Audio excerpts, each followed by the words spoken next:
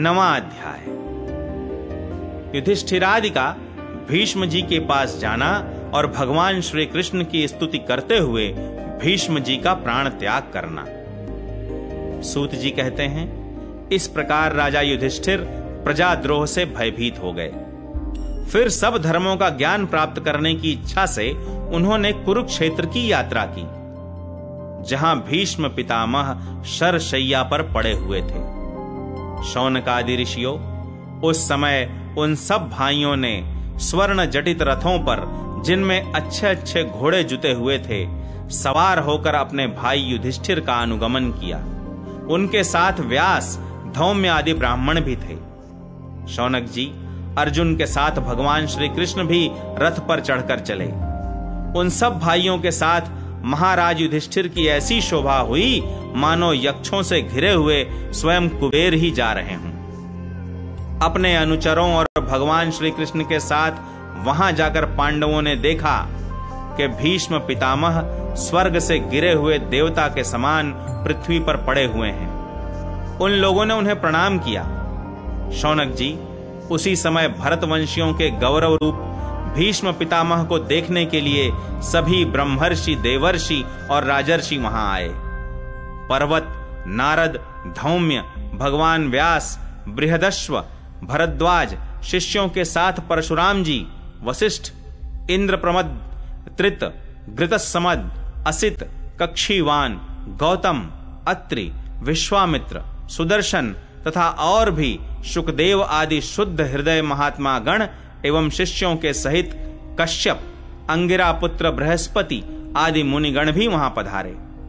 भीष्म पितामह धर्म को और देश काल के विभाग को कहाँ, किस समय क्या करना चाहिए, इस बात को जानते थे। उन्होंने उन बड़भागी ऋषियों को सम्मिलित हुआ देखकर उनका यथा योग्य सत्कार किया। वे भगवान श्री कृष्ण का प्रभाव भी जानते थे। अतः उन्होंने अपनी लीला से मनुष्य का वेश धारण करके वहाँ बैठे हुए तथा जगदीश्वर के रूप में हृदय में विराजमान भगवान श्री कृष्ण की बाहर तथा भीतर दोनों जगह पूजा की पांडव बड़े विनय और प्रेम के साथ भीष्म पितामह के पास बैठ गए उन्हें देखकर भीष्म पितामह की आँखें प्रेम के आंसुओं से भर गईं।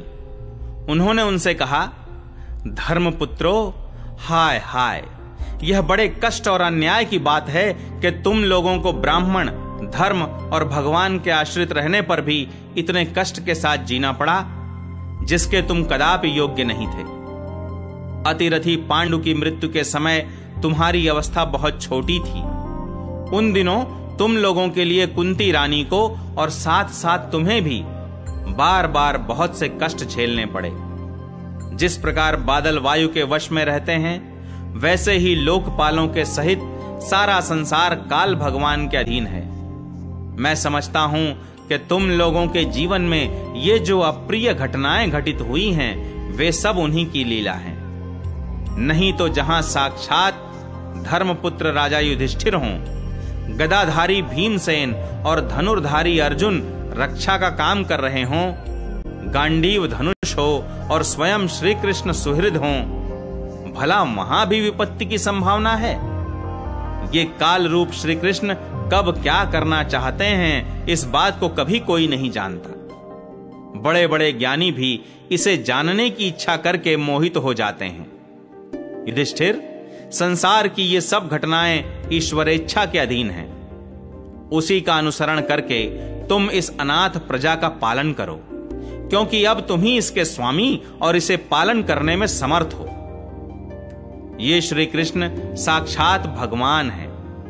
ये सबके आदि कारण और परम पुरुष नारायण हैं। अपनी माया से लोगों को मोहित करते हुए ये यदुवंशियों में छिपकर लीला कर रहे हैं। इनका प्रभाव अत्यंत गूढ़ एवं रहस्यमय है। युधिष्ठिर, उसे भगवान शंकर, देवर्षि नारद और स्वयं भगवान कपिल ही जानते हैं। जिन्हें तुम अपना ममेरा भाई प्रिय मित्र और सबसे बड़ा हितु मानते हो, तथा जिन्हें तुमने प्रेमवश अपना मंत्री, दूत और सारथी तक बनाने में संकोच नहीं किया है, वे स्वयं परमात्मा हैं। इन सर्वात्मा, समदर्शी, अद्वितीय, अहंकार रहित और निष्पाप परमात्मा में उन ऊँचे नीचे कार्यों के कारण कभी किसी प्रकार की विषमता नहीं होती। युधिष्ठिर इस प्रकार सर्वत्र सम होने पर भी देखो तो सही, वे अपने अनन्य प्रेमी भक्तों पर कितनी कृपा करते हैं। यही कारण है कि ऐसे समय में, जबकि मैं अपने प्राणों का त्याग करने जा रहा हूँ, इन भगवान श्री कृष्ण ने मुझे साक्षात दर्शन दिया है। भगवत परायण योगी पुरुष भक्ति भाव से इनमें अपना मन लगाकर और वाणी से इनके नाम का कीर्तन करते हुए शरीर का त्याग करते हैं और कामनाओं से तथा कर्म के बंधन से छूट जाते हैं।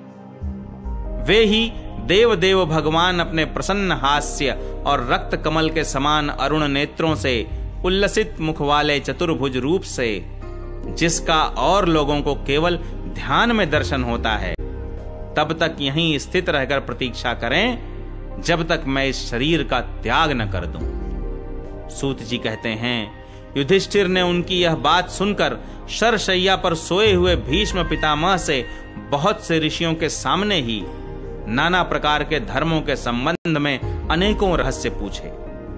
तब तत्ववेत्ता भीष्म पितामह ने वर्ण और आश्रम के अनुसार पुरुष के स्वाभाविक धर्म और वैराग्य तथा राग के कारण विभिन्न रूप से बतलाए हुए निवृत्ति और प्रवृत्ति रूप द्विध धर्म, दान धर्म, राजधर्म मोक्ष धर्म, स्त्री धर्म और भगवत धर्म। इन सब का अलग अलग संक्षेप और विस्तार से वर्णन किया।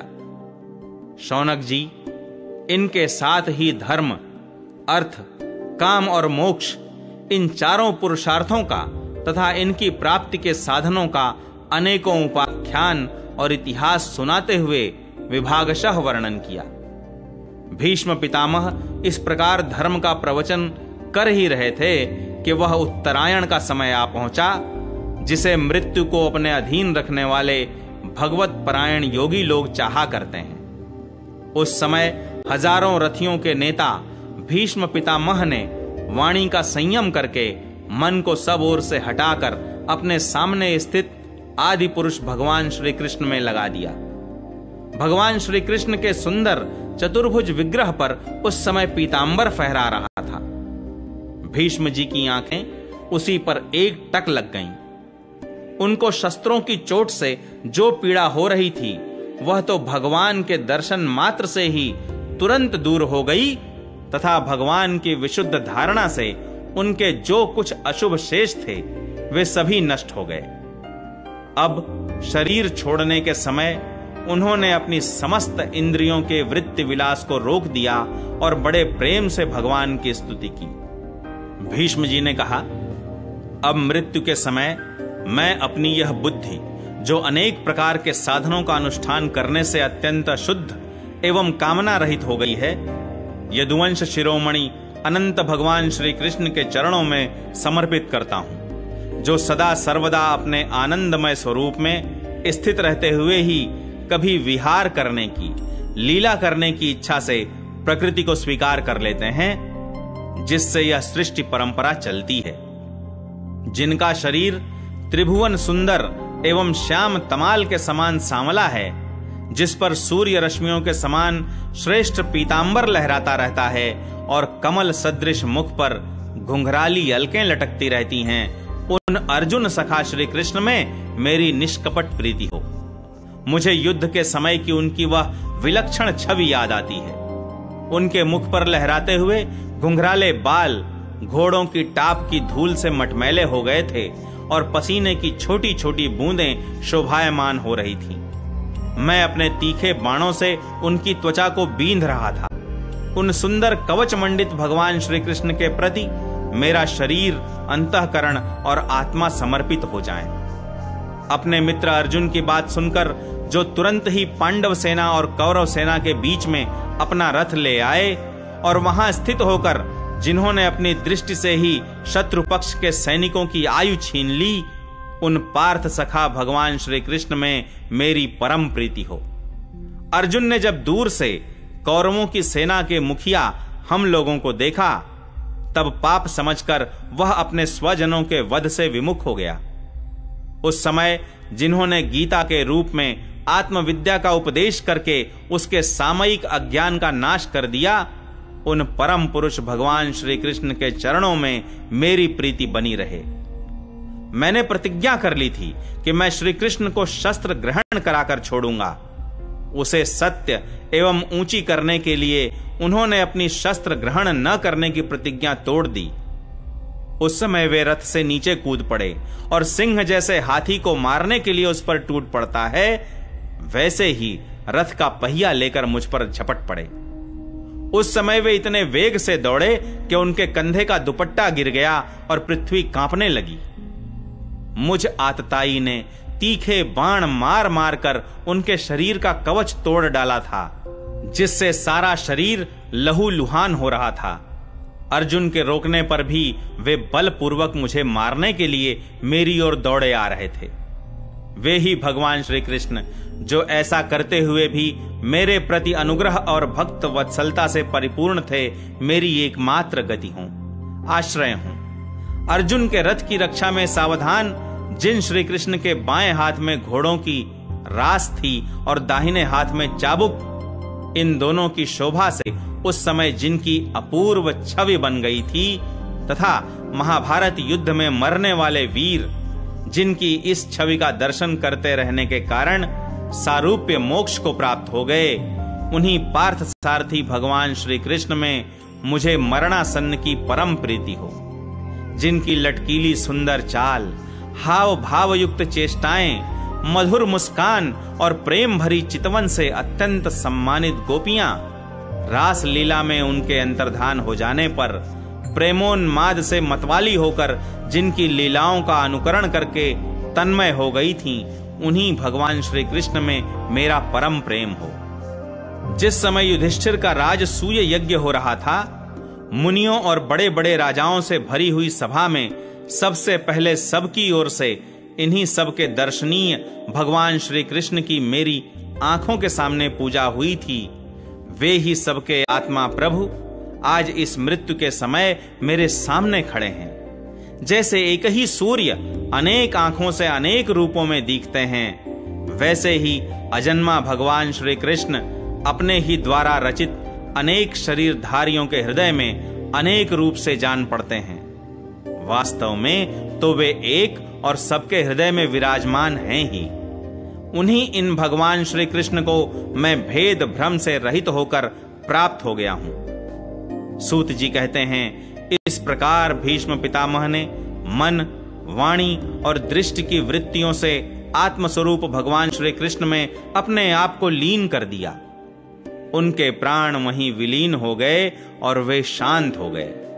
उन्हें अनंत ब्रह्म में लीन जानकर सब लोग वैसे ही चुप हो गए, जैसे दिन के बीत जाने पर पक्षियों का कलरव शांत हो जाता है। उस समय देवता और मनुष्य नगारे बजाने लगे। साधु स्वभाव के राजा उनकी प्रशंसा करने लगे और आकाश से पुष्पों की वर्षा होने लगी। शौनक जी, युधिष्ठिर ने उनके मृत शरीर की अंत्येष्टि क्रिया कराई और कुछ समय के लिए वे शोक मग्न हो गए।